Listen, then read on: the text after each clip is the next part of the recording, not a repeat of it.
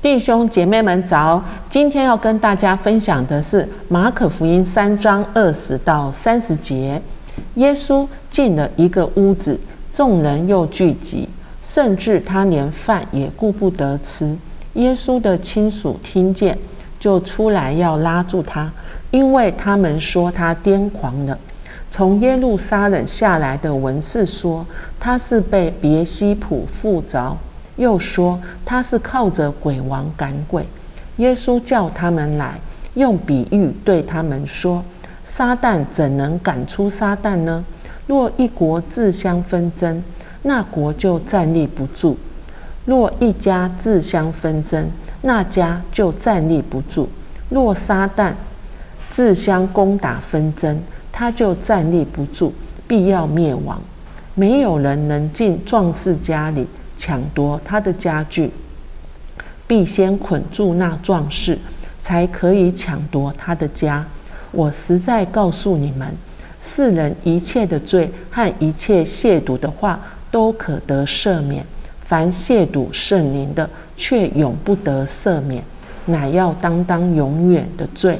这话是因为他们说他是被污鬼附着的。要跟大家分享灵修的一句亮光：若一国自相纷争，那国就站立不住；若一家自相纷争，那家就站立不住。我实在告诉你们，世人一切的罪和一切亵渎的话都可得赦免；凡亵渎圣灵的，却永不得赦免，乃要担当永远的罪。我今天定的主题是不可亵渎圣灵。在这里，我看到需要遵守的诫命是：凡亵渎圣灵的，却永不得赦免，乃要担当永远的罪。我看见的应许是：世人一切的罪和一切亵渎的话都可得赦免，可以避免的罪，亵渎圣灵，在生活中的应用。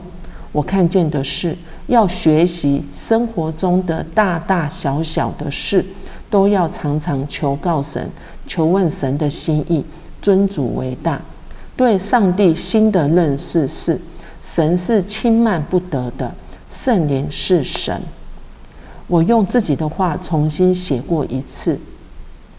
耶稣蛮有恩慈的对待他们，尽管他们是那么顽梗盲目。耶稣为了要让众人看见神的国已临到，看见神的能力，是希望他们有所改变，并且把原本在黑暗中被撒旦辖制的人救出来，让凡有信心、愿意跟随的人和听见神国的人，都可以靠着耶稣从四面八方走出来，进入神的国。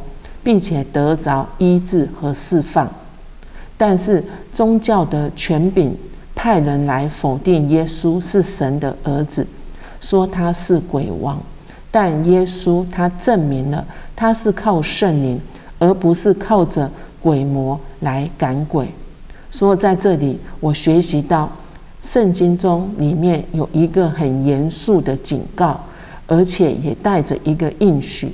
就是所有的罪和亵渎都可以在神那里得着赦免，只有一件事情例外，就是故意视而不见的罪，持续不断的拒绝圣灵的光照，抵挡圣灵的工作，故意对耶稣做错误争辩的人，这样的人是不能得着赦免的。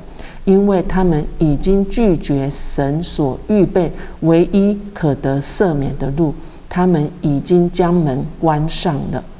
我们一起低头来祷告：耶稣，谢谢你，你释放我们，就是要让我们看见神的国已经临到，并且看见神的能力。主啊，求你恩待我们每一个弟兄姐妹，包括孩子。让我们常常谦卑的来到你的面前，让圣灵来光照我们生命中一切的黑暗，并且不要抵挡圣灵的工作。谢谢你听我们同心合一的祷告，奉耶稣的名感恩，阿门。